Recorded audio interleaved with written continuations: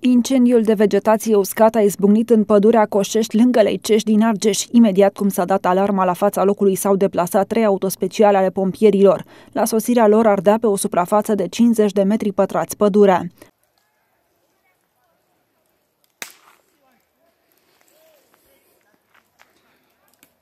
În cele din urmă, pompierii au reușit să izoleze focarele și să stingă incendiul.